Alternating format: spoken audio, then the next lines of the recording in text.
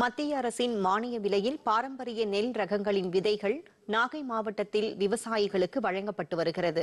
இது குறித்த ஒரு செய்தி தொகுப்பு. நாகை மாவட்டத்தில் தற்போது சம்பா பருவ பணிகள் நடைபெற்று வருகின்றன. பாரம்பரிய நெல் ரகங்களின் விதை உற்பத்தியை ஊக்குவிக்கும் வகையில் மத்திய அரசு ஐம்பது சதவீத மானிய விலையில் விதை நெல்லை வழங்கி வருகிறது.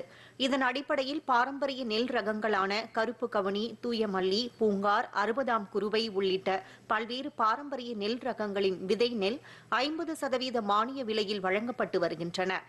இந்த நெல் ரகங்களை தேவையான அளவுக்கு நாகை மாவட்டத்தில் உள்ள தலைஞாயிறு திட்டச்சேரி கீழையூர் வேதாரண்யம் கீழ்வேலூர் உள்ளிட்ட ஆறு வேளாண் விரிவாக்க மையங்களில் கையிருப்பு வைக்கப்பட்டுள்ளது. எனவே விவசாயிகள் இந்த நெல் ரகங்களை மானிய விலையில் பெற்று இயற்கை வேளாண் முறையில் பயிர் செய்து பயனடையுமாறு நாகை மாவட்ட வேளாண் இணை இயக்குநர் அகண்டராவ் கேட்டுக் கொண்டுள்ளார்